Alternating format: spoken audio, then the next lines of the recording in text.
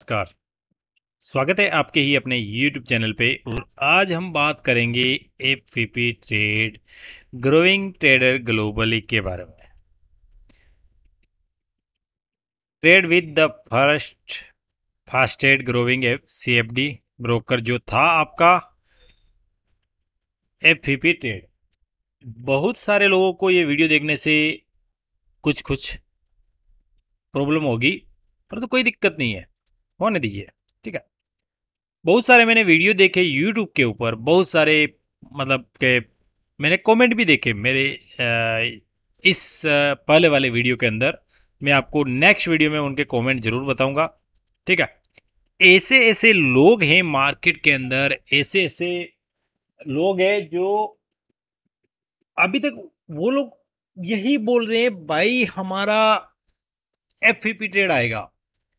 भाई, अगर आता तो 25 दिन में कब से आ जाता? आज इसको 25 दिन समथिंग 25 दिन होने को आया। 25 दिन में आ जाता। अभी तक इसका नहीं आया मतलब भूल जाओ इसको, और घर पे खाना बनाओ अच्छा अच्छा और खाओ, ठीक है?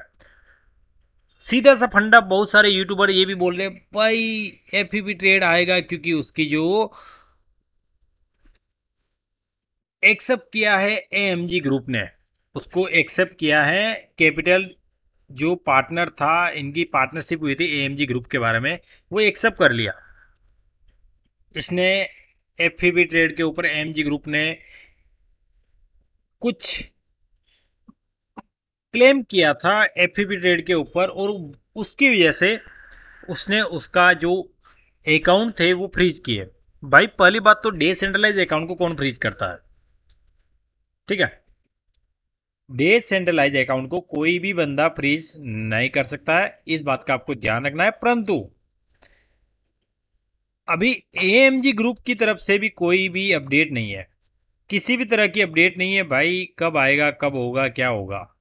खाली एक अपडेट मिली है कि भाई इसने एक्सेप्ट किया एम ग्रुप में कि एफ़ ट्रेड के ऊपर क्लेम किया, उसके साथ पार्टनरशिप थी, उस पार्टनरशिप की वजह से सही नहीं चल रही थी, उसकी वजह से उसने उसको क्लेम किया और उसको ये किया, उसका फंड जो था वो फ्रीज किया। परंतु आने वाले दिनों में आएगा जल्दी। बहुत सारे ऐसे आपको वीडियो मिल जाएँगे यूट्यूब के ऊपर। परंतु भाई, मेरे को नहीं लगता आएगा। ठीक है? जो भी कंपनी एक बार चली जाती है मार्केट से, कभी नहीं आती है, चाहे आप आईपीसी का एग्ज़ाम्पल ले लीजिए intelligence prime capital AI marketing का एग्जांपल ले लीजिए। एआई मार्केटिंग सालों से चल रही थी। उसका एग्जांपल ले लीजिए। आज डेढ़ साल से विड्रोल बंद है। और ऐसे बहुत सारे प्लान के एग्जांपल ले लीजिए ना आप, जो दो दो साल से चल रहे थे मार्केट में। ठीक है? मैं तो रिक्वेस्ट करूँगा भाई, सीधी सी बात है, सीधा सा फंडा है कि आपको करना कुछ नहीं है। अगर वापस आती है, अगर डिपॉजिट करने के लिए बोलती हैं तो आपको डिपॉजिट नहीं करना है, चाहे आपका अपलाइन बोले, चाहे कोई भी बंदा आपको बोले। ठीक है? तो नई अपडेट के लिए, जल्द ही मैं नई अपडेट इसकी कोई आती है तो मैं जल्द वीडियो डालने वाला हूँ। तब तक के लिए वीडियो को लाइक करिएगा, शेयर करिएगा, यूट्यूब चैनल को सब्सक्राइब ज़रूर करिएगा। Thank you so much. धन्यवाद।